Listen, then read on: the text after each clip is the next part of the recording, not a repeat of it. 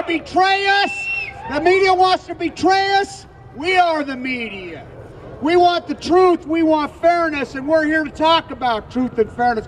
We have answers. We have solutions. We're not going to let the media go shove a microphone in somebody, it's the, the dumbest person in the movement, some shill, and tell us, oh, blah, blah, and dump, dummy us down. Not this time. Not this time. We are the media. We are the We have more eyes are on us than CNN or credibility or Fox ever dreamed to be. We are the credible media.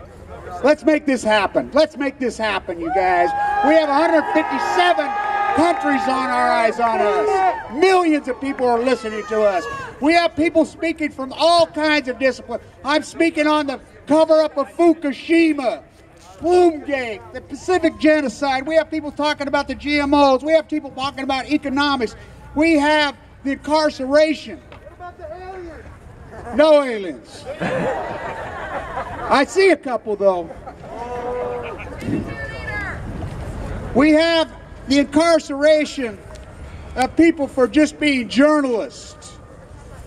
We have Megan Rice, an 87 year old nun, a peaceful activist, being given life in prison.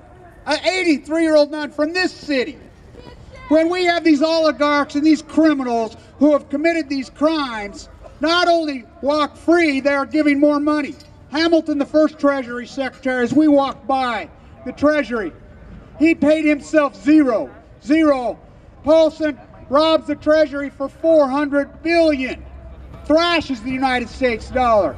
We've had our money taken away. Our currency's crashed. They've sent our jobs to slaves in China. They call themselves American GM, Steve Chinese jobs, Apple, Caterpillar. There's nothing American about them. They don't employ anybody. They surely don't pay any taxes here. They exploited everything. But now they've taken the crowning jewel. They've taken our air. Fukushima has been pouring into the Pacific Ocean for 970 days. It's the greatest cover up in history. The oligarchs have gone too far this time. The Uncle Tom media has gone too far this time. They're eating their own now. We got to call this out to accountability. We have solutions. We have answers. We're not, no more, the tale has been told. We know the tale. The tale is that now it's time for solutions. We want the real criminals in jail. We want the patriots, the modern day Sam Adams, who are in jail set free. We want the truth. We want the truth. We're tired of the lies. We're tired of the crony capitalism. We're tired of the exploitation of our jobs. We don't want to compete with slave owners in China that pay their slaves nothing, nothing. We want fairness. So we have a group of speakers. John is here who organized this, and thank you to everyone who is here, everyone that has showed up. You guys are amazing people. I love every single one of you.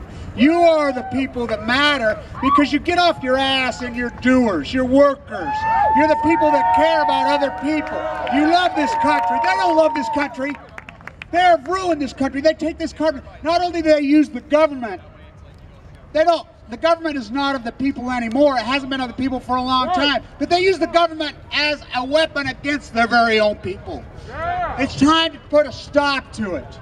We're not just a bunch of hot air Talk, talk, talk, we have answers. You want to talk economics? We have answers. End this usury-based economy.